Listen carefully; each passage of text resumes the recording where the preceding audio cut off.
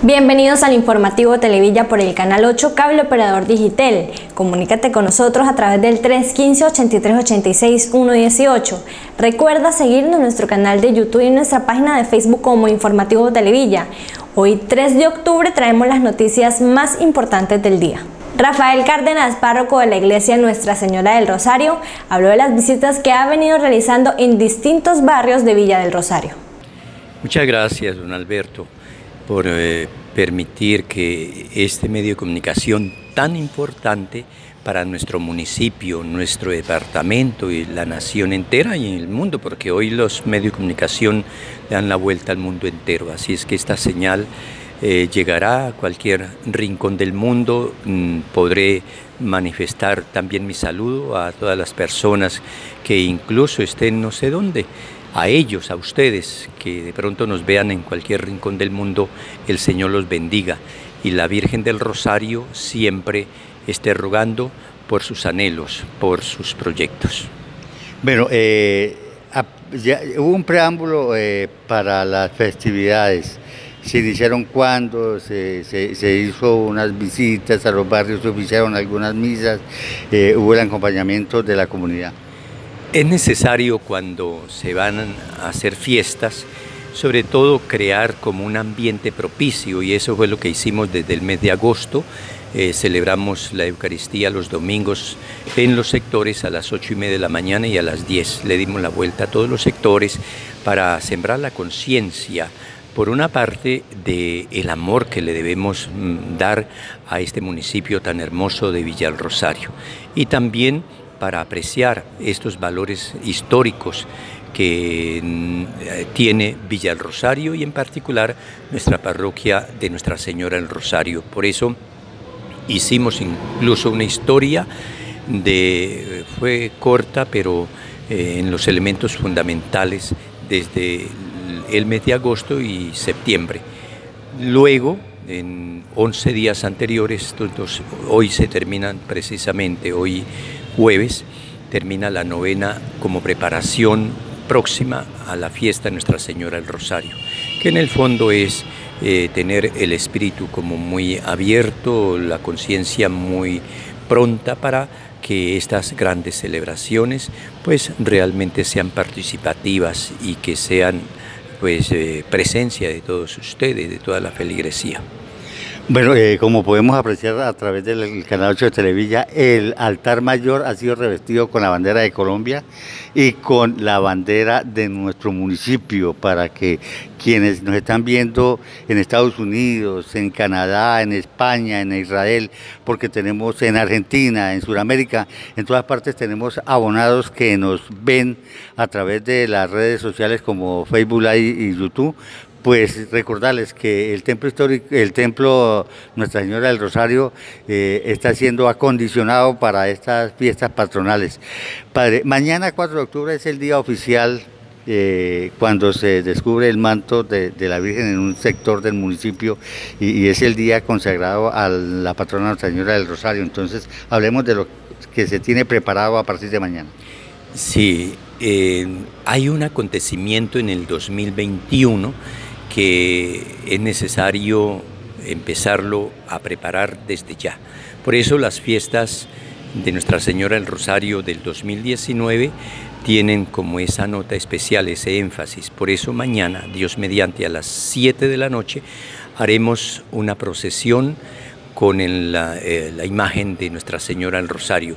Podríamos decir que ella quiere ir a ver la casita donde vivía antes que era en el templo histórico. Allí vivió durante muchos años. Entonces mañana, 4 mm, eh, eh, de octubre, mañana jueves, Dios mediante, viernes, perdón, iremos a las 7 de la noche en una gran procesión hasta el templo histórico. Allí celebraremos la Eucaristía, probablemente la presidirá el señor obispo y se hará alguna remembranza histórica de eh, la creación del Congreso del primer Congreso Constituyente de la Gran Colombia, que se hizo precisamente allí en el Templo Histórico. Ese es el sentido, eh, se irá a hacer una representación de esos momentos tan cruciales en la historia de Colombia. Terminado esta presentación, esta celebración eucarística, volveremos a este templo histórico de Villar Rosario en una gran procesión de faroles. Eh, será un acontecimiento maravilloso, toda la gente estará acompañando en esta gran procesión. Eh, pasado mañana, Dios mediante el sábado, eh, estará expuesto el Santísimo y hay una cosa particular a partir de mañana y es el descendimiento de la Virgen. bajar el cuadro no, no es de cualquier modo, eso tiene un rito, él va se va bajando con cuidado, con devoción y ante la mirada eh, expectante de la feligresía. Eh, permanecerá aquí en el templo el viernes y el sábado hasta mediodía y se hará una lección continua del cuerpo bíblico de San Pablo, es decir, se van a leer todas las cartas de San Pablo eh, continuamente desde las 8 hasta las 12 del día. Lo mismo haremos el sábado desde las 8 hasta las 12 del día. En la noche, el sábado, eh, haremos, será las confirmaciones a las 6 de la tarde y en la noche, a las 8 de la noche, la gran serenata, que es tan tradicional.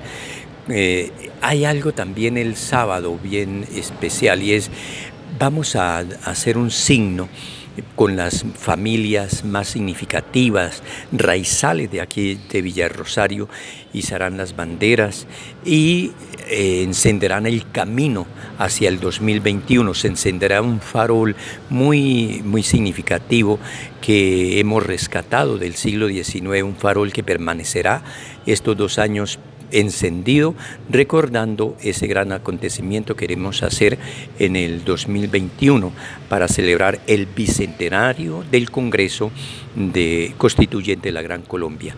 El domingo, primera, primeras comuniones a las 9 de la mañana, a las 3 de la tarde presentación de los niños a la Virgen, a las 4 la gran procesión, como reza, como canta el himno a la Virgen, las calles se engalanan, se colman de feligreses para la gran procesión a las 4 de la tarde. Eso se ha hecho desde hace 200 años, entonces también el domingo reviviremos ese gran acontecimiento. Primer domingo de octubre canta el himno de la Virgen 4 de la tarde, están todos invitados para la gran procesión. Recordemos que hace eh, eh, más de 20, de 20 años la imagen de Nuestra Señora del Rosario fue profanada, eh, se le llevaron parte de lo que fue, eran los adornos que tenía en oro. esa cadena que vemos allá, que es un collar macizo, fue donado por un sacerdote que, fue titular de nuestra parroquia, se me, se me olvida el nombre, eh, aquí han dado, esta parroquia ha dado sacerdotes como los padres Trujillo, el padre Chacón, el padre Meneses, se me olvida lamentablemente eh, el nombre del sacerdote que unó esa cadena, pero la verdad que eh, debemos de acompañar. Y como rosarienses, eh, eh, como feligreses, como católicos, acompañar eh, estas festividades, compartir de ese domingo, no solamente desde mañana viernes, sino ese domingo de alegría, porque habrá bazar, habrá un compartir, podemos asistir y apoyar estas festividades. Así es. Así es que todos ustedes están invitados con mucho cariño. Los esperamos para que formen parte y compartamos esta alegría que nos trae las fiestas patronales de Nuestra Señora del Rosario. Y en torno a eso también la fiesta de Villa Rosario, la fiesta de la uva que también se prepara como fiesta de calle, que es ah, también un acontecimiento y nos une a todos. Así es que están invitados cordialmente a estas grandes celebraciones en Villa El Rosario, norte de Santander, Colombia.